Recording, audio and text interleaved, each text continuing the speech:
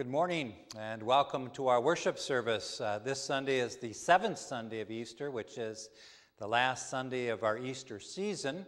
And we're also celebrating here today our ascension, the ascension of our Lord and Savior Jesus Christ as he ascended into heaven 40 days after his resurrection. And this weekend is also Memorial Day weekend. And here at St. John's, we've always paid tribute in our worship service by uh, patriotic songs and our theme with regards to remembering uh, those who are no longer with us. Um, just a reminder uh, to put out before you here today uh, decisions are being made at the Capitol with regards to businesses and possibly in the weeks ahead for churches to open up. But we know that as businesses, as well as the church, there's going to be restrictions in a different format as we come together to worship. And so we just ask that you would keep in tune to our website here at St. John's as well as our Facebook page. We'll be sending out emails with regards to when these days might happen that we can come together and worship and, and what we have to uh, keep in mind as we do so. And it's not, only coming from the Capitol, but also coming from our district offices as well with regards to how we should go forth uh, in worshiping in the house of the Lord. Uh, as we begin worship here today, let's keep this thought in mind. Memorial Day is a time to reflect, it's a time to think about friends and family who are no longer with us. It's a time to pay tribute to the courageous servicemen and women who sacrificed their lives to secure our freedom and make it possible for us to live in peace. This Memorial Day, take a few moments to remember those who have gone before us. We now honor and pay tribute to our country as we join together in singing the Star Spangled Banner.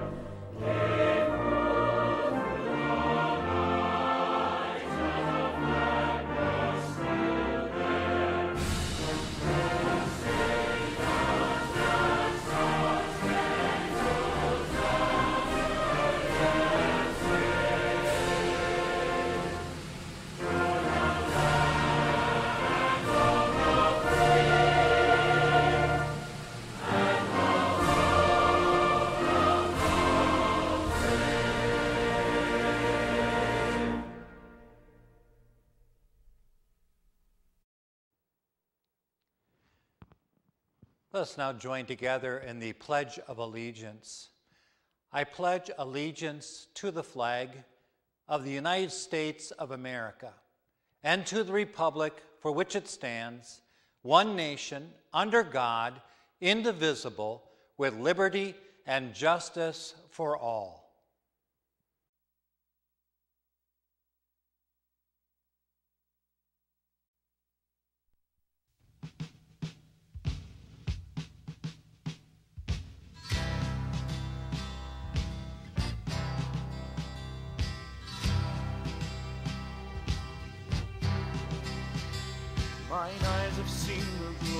Of the coming of the Lord. He is camping out the vintage where the grapes of wrath are stored. He hath loosed the faithful lightning of his terrible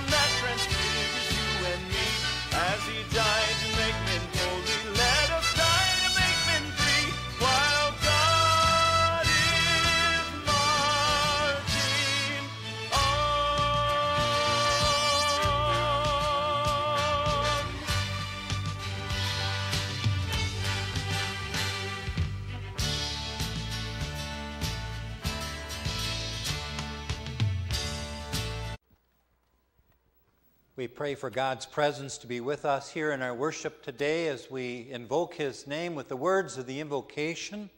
In the name of the Father, and of the Son, and of the Holy Spirit. Amen. We come before our God knowing of our sinfulness as we join together in the confession of our sins using Psalm 130. Beloved in the Lord, let us draw near with a true heart and confess our sins to God our Father, imploring Him in the name of our Lord Jesus Christ to grant us forgiveness. Amen. Out of the depths I cry to you, O Lord. O Lord, hear my voice. Let your ears be attentive to my cry for mercy. If you, O Lord, kept a record of sins, O Lord, who could stand? But with you there is forgiveness. Therefore you are feared.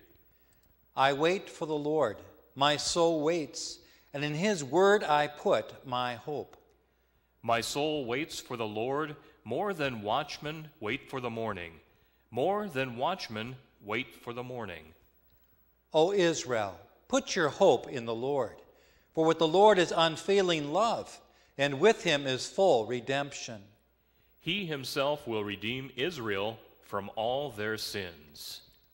Glory be to the Father, and to the Son, and to the Holy Spirit, as it was in the beginning, is now, and will be forever. Amen.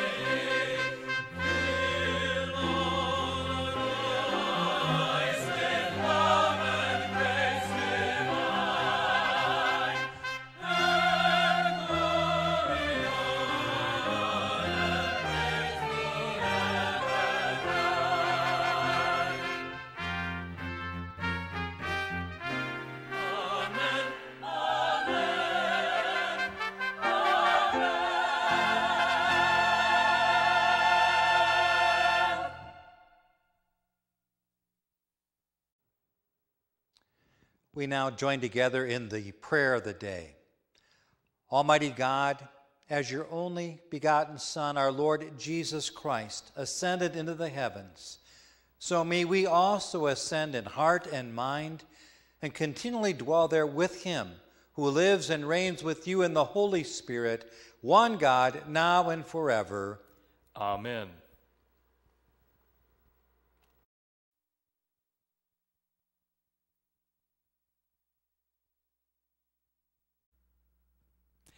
Our first reading this morning comes from the book of Acts, chapter 1, verses 1 through 11. In this reading this morning, we look at the unfinished works of Christ. In my former book, Theophilus, I wrote about all that Jesus began to do and to teach until the day that he was taken up to heaven after giving instructions through the Holy Spirit to the apostles that he had chosen. After his suffering, he showed himself to these men and gave many convicting proofs that he was alive. He appeared to them over a period of 40 days and spoke about the kingdom of God. On one occasion, while he was eating with them, he gave them this command Do not leave Jerusalem, but wait for the gift my Father promised, which you have heard me speak about. For John baptized with water but in a few days you will be baptized with the Holy Spirit. When they met together, they asked him, Lord, are you at this time going to restore the kingdom of, to Israel? He said to them, It is not for you to know the times or dates that the Father has set by his own authority, but you will receive power when the Holy Spirit comes on you, and you will be my witnesses in Jerusalem and in all Judea and Samaria and to the ends of the earth. After he said this, he was taken up before their very eyes, and a cloud hid him from their sight. They were looking intently up into the sky as he was going, when suddenly two men dressed in white stood beside them. Men of Galilee, they said, why do you stand here looking into the sky? This same Jesus, who has taken from you into heaven, will come back the same way that you have seen him go into heaven. This is the word of the Lord. Thanks be to God.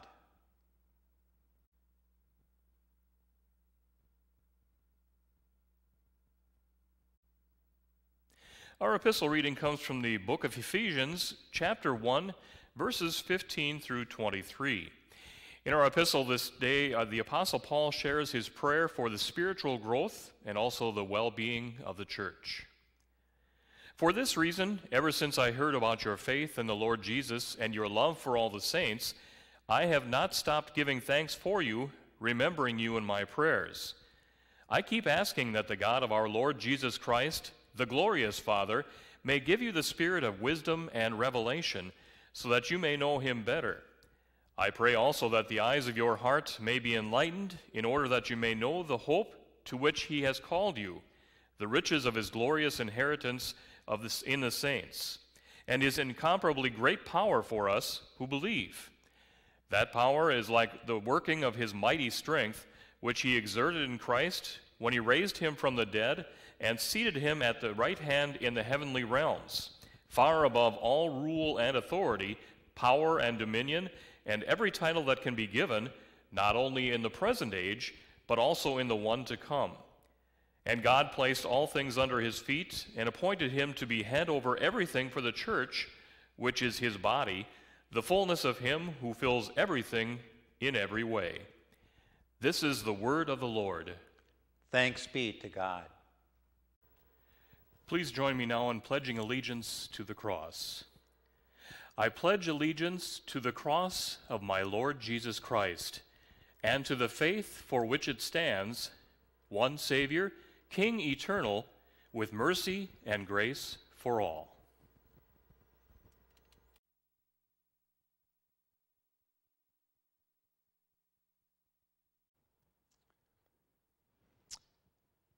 I announce to you the reading of the Holy Gospel, which is according to St. Luke, the 24th chapter.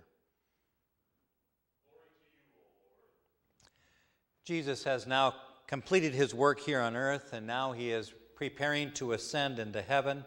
But before he does so, he shares with his disciples these last words with them. He said to them, This is what I told you while I was still with you. Everything must be fulfilled that is written about me in the law of Moses, the prophets, and the Psalms. Then he opened their minds so that they could understand the scriptures. He told them, This is what is written the Christ will suffer and rise from the dead on the third day, and repentance and forgiveness of sins will be preached in his name to all nations, beginning at Jerusalem. You are witnesses of these things. I'm going to send you what my Father has promised, but stay in the city until you've been clothed with power from on high. When he had led them out to the vicinity of Bethany, he lifted up his hands and blessed them. And while he was blessing them, he left them and was taken up into heaven. Then they worshiped him and returned to Jerusalem with great joy. And they stayed continually at the temple, praising their God. This is the gospel of the Lord. Praise to you, O Christ. This morning we confess our faith in that of the words that are recorded for us in Psalm 23. The Lord is my shepherd. I shall not be in want. He makes me lie down in green pastures. He leads me beside still waters. He restores my soul. He leads me in paths of righteousness for his name's sake. Even though I walk through the valley of the shadow of death, I will fear no evil. For thou art with me, thy rod and thy staff, they comfort me. Thou preparest a table before me in the presence of my enemies. Thou anointest my head with oil, my cup overflows. Surely goodness and mercy shall follow me all the days of my life. And I shall dwell in the house of the Lord forever. Amen.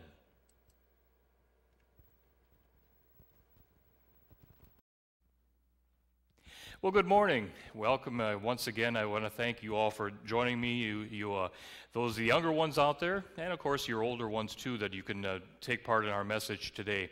Well, I've got four things up here. Actually, I got five things, but I got four things up here that I have. Uh, we have some glue. I have a little bolt. I have a stapler and I have some tape. So, the question I have for you this morning is what do all four of these things have in common? Do you know what the answer is? I bet you adults at least do. You better at least know what it is. All four of these things have a purpose, they bind things together. Now, what they do is you probably have a lot of, you have these type of things at home. You might have to have this much uh, glue. I was lucky enough to find it down in our uh, Sunday school superintendent's office, a lot of glue. But you probably have a little glue bottle. The glue is used to hold things like wood, pieces of wood together, or it might bind some uh, clothing. It might bind some other pieces together with the glue that you use.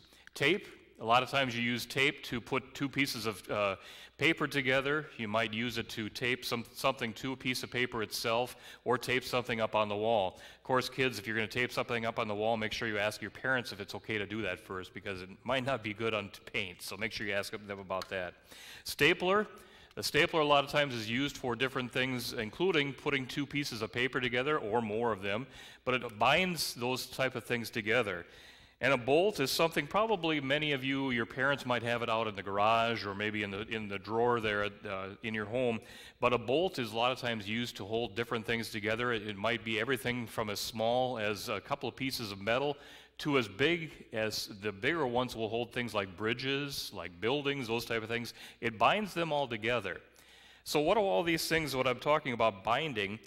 I'm talking about the things that hold the things together. We as humans, hold ourselves together by, uh, we have to survive with each other by being close to each other.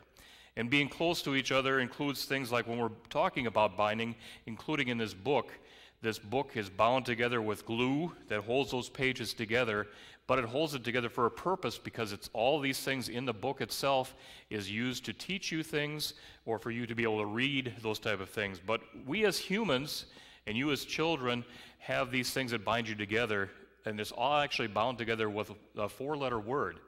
That letter or that uh, word itself is called love. Love binds all of us humans together, and it keeps us close to each other.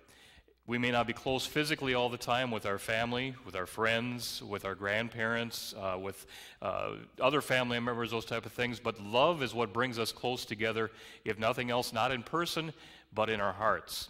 So we have to remember that love is one of those things that is a binding for us. It's much like the stapler or the pieces of tape that we have, the bolts or the glue. Love is our human part of binding people together. It also helps with us binding ourselves together with the people that we love all around us. And when I'm talking about love, I'm not only talking about the love that you have for your parents or maybe for your siblings. Hopefully, you have love for your brothers and sisters. But it also talks about the love for our people that are around us. We have the love for the people that are in church, we have the love for our pastor, our love for our, our church secretary, Kathy for Mary when she's up there playing the organ. We have the love for Mary. Love is uh, all encompassing because that's the common bond that we have as human beings and as children of God. So that's one of the things we always want to remember is the binding that comes together is all based on the love.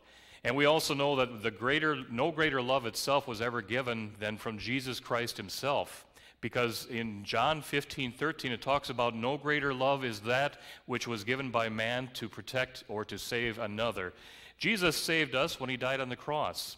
And 40 days later, which we're celebrating this week, is the ascension of Jesus up into heaven because then he was able to sit at the right hand of God. And now, because of his ultimate sacrifice for us, his great love that he gave to us, we now know that someday we'll join him again in heaven. So remember that uh, when you're going forward in the days ahead, that we may not be close together in person, but love will bind us together in our hearts. Please join me in praying this morning. If you can fold your hands, please. Dear Jesus, we know that things that bind us together, that include things like tape and glue and bolts and staplers, bind physical things together, but we as humans know that you provide us with something that binds us all together, and that is love.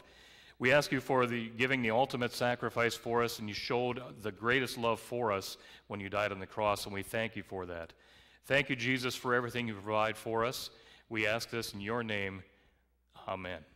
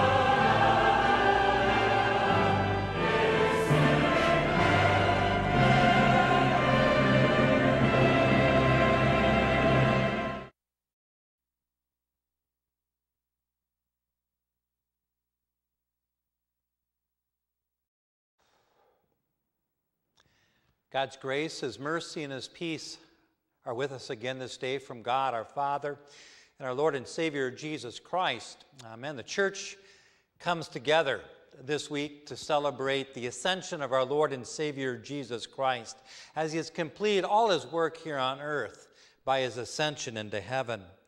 Hear now the gospel as it is recorded for us in the 24th chapter of St. Luke's gospel. When he had led them out of the vicinity of Bethany, he lifted up his hands and he blessed them. While he was blessing them, he left them and was taken up into heaven. Then they worshiped him and returned to Jerusalem with great joy. And they stayed continually at the temple, praising their God. So we come here this Sunday. We come here remembering the ascension of our Lord and Savior Jesus Christ and what it must have been like for the disciples who followed him up in the vicinity of Bethany up to the Mount of Olives, there being with Jesus for the very last time here on earth in their lives. And Jesus gives them these words of command. He said, I want you to stay in Jerusalem until you've been empowered from on high meaning being clothed with the power of the Holy Spirit that will send you out into the world with the good news of the gospel, preaching the words of repentance, bringing people to come to that point in their lives where they ask God for their forgiveness. And that forgiveness is found in Jesus Christ and Him alone. This is a time for us to remember this is a time for us to be with the disciples on the Mount of Olives. As Jesus speaks these words and as he raises his hands, blessing the disciples for the very last time, again here on earth, and as he is taken from them as he ascends into heaven. Luke, in his recording in the book of Acts, talks about two men dressed in white also appearing with the disciples as they are gazing, as they are looking up into heaven, as they see Jesus ascend. And they said, Men of Galilee, why are you staring into the heavens? The same Jesus that you saw ascend before you this day will descend in the same way. This is a weekend of remembering. As we come together in worship, we remember God's great love for the world.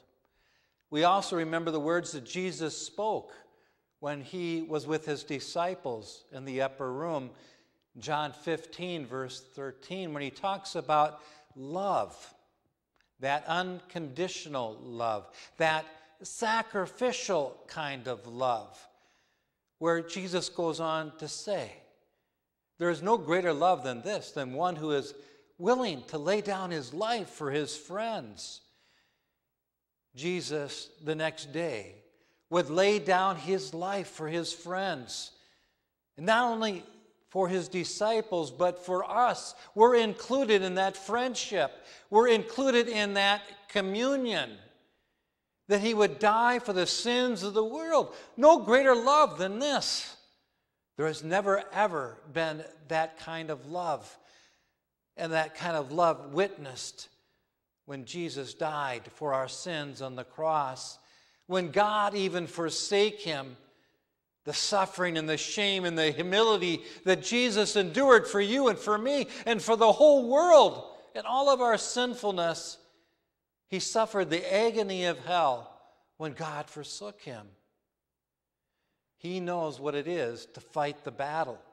He knows what freedom is all about, and he knows the high cost with regards to that freedom, the cost of one's life. As we come here this Memorial Day weekend, we can't help but think of those who have gone before us. We think of our loved ones who are now with our ascended Lord in heaven. And we think about those who are willing to give of their life so that you and I might enjoy this freedom where we can come together in worship and praise when we can conduct our lives in the way that we are accustomed to living here in America. But this freedom didn't, cause, didn't come for nothing. It came at great cost. It came at great cost to many people over the years.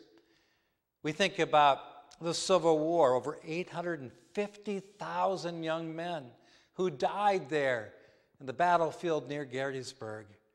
They said you could smell the stench of death for 18 miles. Think about the war that took place here, the Civil War in our own country. We think of over the 116,000 men who lost their lives during World War I. We think of over the 417,000 that died during World War II. We think of the 54,000 people that died in Korea and over the 56,000 that died in Vietnam. And we think of over the 4,000 men and women who died in Iraqi freedom. Freedom comes at a great cost. People looking outside of themselves to a greater cause. The freedom that we have here in our country. We see two symbols before us today. Above me, we see the cross, the cross that Jesus died on for the sins of the world, so that we would be forgiven by our God in heaven. We see the symbol of the flag. And I realize that this Memorial Day weekend is going to be different for many of us because we will not be able to participate in a Memorial Day service again because of this virus that we are confronted with, which separates us. Here in Sherburn, the Avenue of Flags, and, and how important that is in helping us to remember those who have gone before us. Because on each one of those flags is a name. As you walk by those flags and you happen to look at the flagpole and you happen to see those names, there are very familiar names to us because we knew them living here in this community. You go out to the cemetery and you see the cemetery beautifully mowed and manicured. You see the beautiful flowers. And then on those stones of those who are veterans, you see flags that are posted. You know, you think about Memorial Day weekend, it is indeed a time for us to remember to remember what we have and that the great cost that it came for many. As we come here today together, we remember that Christ's work is not completed here on earth. He has commanded you and I now to go out into the world and to baptize in His name and to teach His teachings. As we come here today, we're reminded that we not only hold high the flag here as American citizens, but even before that, we lift high the cross. Jesus said to his disciples, I want you to stay in Jerusalem until you've been empowered from that, from God's gift from above, which is the Holy Spirit. And he said, Then I want you to take that message not only throughout Jerusalem, but Judea, Samaria, and to the outer ends of the world. And this is what the disciples did.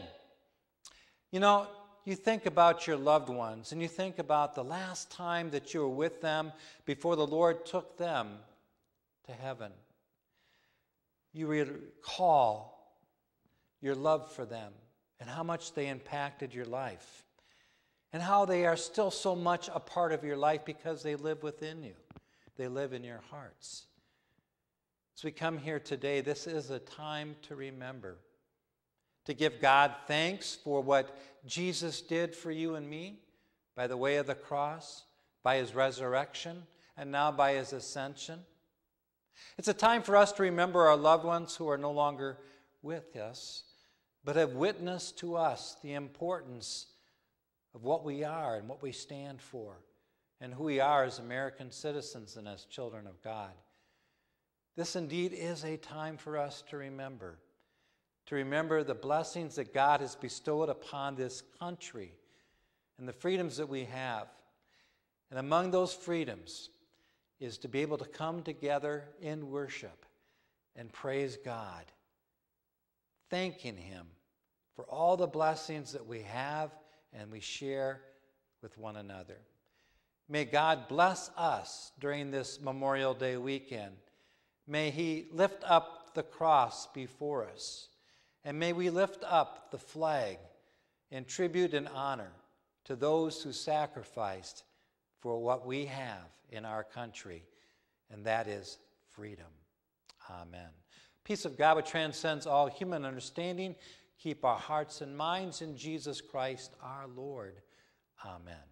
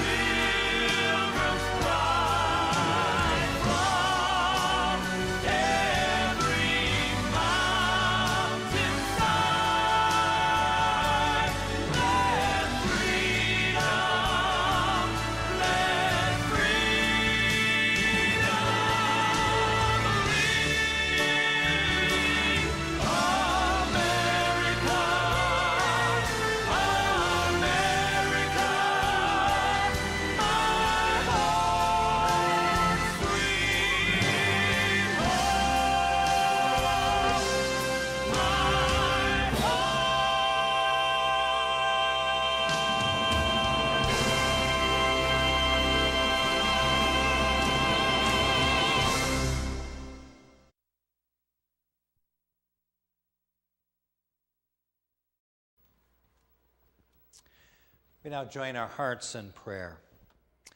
We pray for the servants of the Lord who proclaim God's victory for us.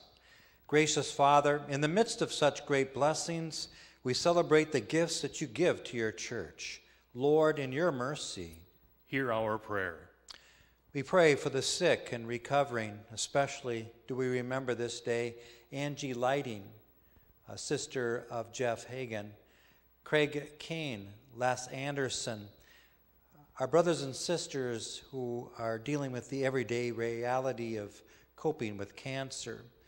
We remember Lori Korselman, Julie Krogman, Donna Naraki, Paul Overgard, Elsie Swanson, Shelley Callahan, Gary Madej, Jenny Anderson, Georgia Holtz, Larry Norm, Lacey McNichol, Roger Spiegler, Cindy Johnson, Gloria Mashoff, Robert Seamer, Kay Groth, Perry Caven, Harv Baird, and those on our care list and those that we name in our hearts this day. O Lord, we implore you for your mercy and healing for those who are sick. We are helpless in the face of sin and all of its consequences in this world.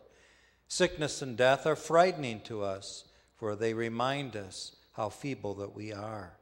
They also affirm for us our dependence upon you. Bless those who are sick and those receiving treatment for cancer or other illnesses. Support them with your grace and guide the doctors and caretakers who minister to them. Lord, in your mercy. Hear our prayer. We pray also this day for those who grieve the following, the following, grieve the following family members. Remember this day Warren Wyrock, the father of Darla Ross, called to his eternal rest this past week. We remember Marlene Stock, the sister of Janet Leopard, also called to eternal rest this past week. Also, Donna Bralsma Welsh. Donna is the aunt to Dan Grill, who passed away also this past week uh, in Michigan. And we remember Pastor Jim, Jim Fleming, uh, pastor at Bethel, Bethel Free Church in Fairmont, also called to his eternal rest this past week. Heavenly Father, you have provided blessing and life to our servants here in this world, but we praise you for the eternal life that you grant through your Son, Jesus Christ. Lord, in your mercy. Hear our prayer. We also continue to offer up prayers on behalf of our service people who are protecting our country and the countries of this world from harm and danger. We pray that our Heavenly Father will watch over and protect our sons and daughters. May they also know the presence of their Lord and Savior, who is always with them. Lord, in your mercy, hear our prayer. We pray for the families of our congregation. Jesus, you have knit your church together to be of one people, bound together by faith. We bring glory to you as we serve one another with the gifts that you bestow. Be with all families of our church and bless them with your grace. Guide us as we live each day so that we may be a blessing to each other. Lord, in your mercy, hear our prayer. Into your hands, O Lord, we commend all for whom we pray, trusting in your mercy through Jesus Christ our Lord, who furthermore taught us to pray. Our Father, who art in heaven, hallowed be thy name. Thy kingdom come, thy will be done on earth as it is in heaven. Give us this day our daily bread, and forgive us our trespasses, as we forgive those who trespass against us. And lead us not into temptation, but deliver us from evil. For thine is the kingdom, and the power, and the glory, forever and ever. Amen. Like to thank uh, Kathy, our church secretary, who's been taping our services for us here today and uh, over the past weeks so that we can bring it into your living room. Thank you, Kathy, for doing that. Please now let's join together in the benediction of our Lord. The Lord bless you and keep you. The Lord make his face to shine upon you and be gracious to you.